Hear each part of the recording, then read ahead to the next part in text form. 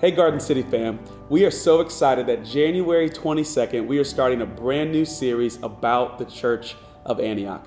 I want to take you right into the Word, Acts chapter 13, 1 through 3, so that we can see one of the main scenes that help us understand what was going on at the Church of Antioch. The Bible says, Now in the church that was at Antioch, there were certain prophets and teachers Barnabas, Simeon, who was called Niger, Lucius of Cyrene, Manaen, who had been brought up with Herod the Tetrarch, and Saul.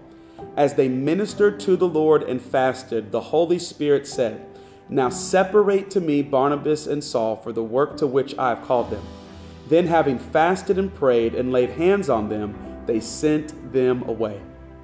Antioch was one of the main cities that those in the early church scattered to after the persecution of Stephen in Jerusalem. And over the next several weeks, we're going to be looking at a few things. One, we're going to be looking at the historical significance of the church of Antioch. Two, we're going to be learning about the key attributes of some of the main leaders of the church of Antioch. And three, we're going to be learning about key characteristics of the church of Antioch and how they did ministry that we can learn from today.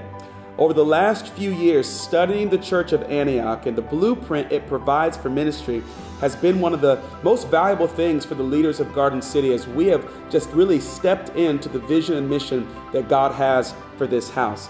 As you heard even during our first message of the year uh, here at Garden City, we are not just looking to build a church that's going to bring people in to gather, but we're looking to be a church that sins. We're not just looking for a community of members but ultimately a community where every single person knows that they are a minister. We want to come alongside the calling, the gifting, the anointing of every single person in this community. And the Church of Antioch gives us the ingredients necessary to do that effectively and to do that in a way that's going to bring major impact for the glory of Jesus Christ and His gospel. We're expectant for the fruit that's going to come from this series. We cannot wait to see what God has in store. We look forward to going through it with you. God bless.